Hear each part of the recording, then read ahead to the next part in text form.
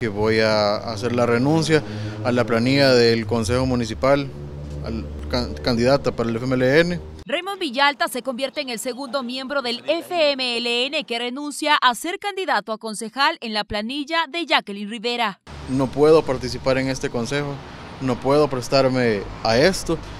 A su vez, y por estos mismos motivos, viendo que hay una cúpula que ya no está teniendo una brújula política que defienda los intereses del pueblo, también he decidido hacer pública también mi renuncia al partido de FMLN. El actual subgerente de Participación Ciudadana dijo que su renuncia es a raíz del bloqueo de proyectos por parte de concejales del partido de izquierda. En las últimas votaciones de consejo, quizás por revanchismo político, se vota igual que Arena, algo en lo que no estoy de acuerdo y es algo que definitivamente no va con los principios revolucionarios que se supone que tenemos que defender.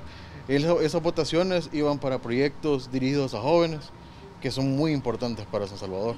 Luego de hacer pública su renuncia, también habló de su futuro político. Yo he participado en, en esta administración apoyando al señor alcalde y apoyando un proyecto político que me parece que ha iniciado un proceso de transformación en San Salvador y que definitivamente va por un rumbo correcto. Yo creo que representa las nuevas ideas totalmente.